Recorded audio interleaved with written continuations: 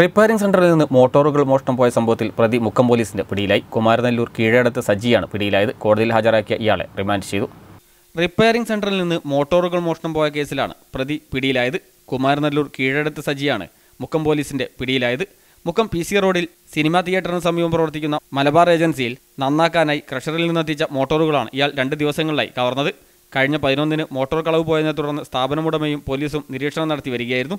ഇതിനിടെയാണ് പതിനഞ്ചിന് പുലർച്ചെ ഇയാൾ വീണ്ടും വീണ്ടുമെത്തി സ്ഥാപനത്തിൽ നിന്ന് മോട്ടോർ മോഷ്ടിച്ച് തൊട്ടടുത്ത സ്ഥലത്തേക്ക് മാറ്റിവെച്ച ശേഷം ഉച്ചയോടെ ഓട്ടോറിക്ഷയിൽ കടത്തിക്കൊണ്ടുപോകാൻ ശ്രമിക്കുകയായിരുന്നുവെന്ന് പോലീസ് പറഞ്ഞു.